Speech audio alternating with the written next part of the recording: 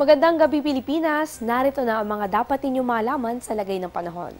Good news dahil walang anumang sama ng panahon sa loob ng Philippine Area of Responsibility.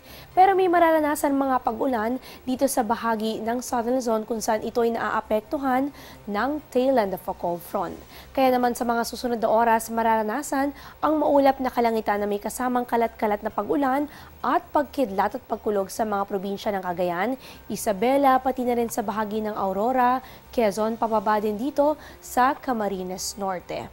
At samantala, sa Metro Manila at sa natitirang bahagi ng ating bansa, mararanasan naman ang pangkalahatang maaliwalas na panahon ngunit dahil nga gabi na, mas malaki yung tsansa ng mga pulo-pulong pag-ulan o pagkidlat pagkulog dulot ng localized thunderstorms. At dahil nga dito nakataas naman ang gale warning sa mga baybayin sa eastern seaboards ng northern at pati na rin sa central Luzon, pati na rin nakataas din ang gale warning dito sa bahagi ng western seaboards ng northern Luzon kung saan pinagbabawal yung mga mangingisda at may maliliit na sasakyang pandagat na wag munang pumalaot dahil mararanasan ang maalon hanggang sa napakaalong lagay ng karagatan. Diyan lamang po kayo magbabalik pa ang Panahon TV.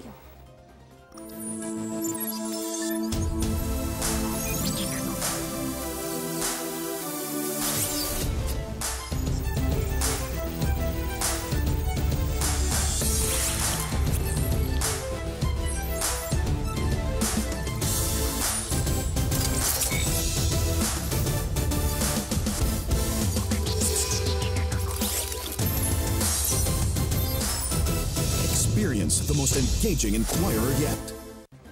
Bukas, balik opisina at eskwela na muli. Habang nasa biyahe, magpasalamat sa panibagong araw ng kalakasan. Sasabayan pa ito ng magandang pagsikat ni Haring Araw sa ganap na 5.46 a.m. at ang sunset asahan yan 6.09 pagsapit ng gabi. At yan ang latest sa lagay ng panahon mula rito sa Pag-asa Weather and Flood Forecasting Center. Itong Panahon TV kung saan walang pinipiling panahon ang pagbibigay impormasyon. Ako si Eunice Santayas, mag-ingat at magandang gabi.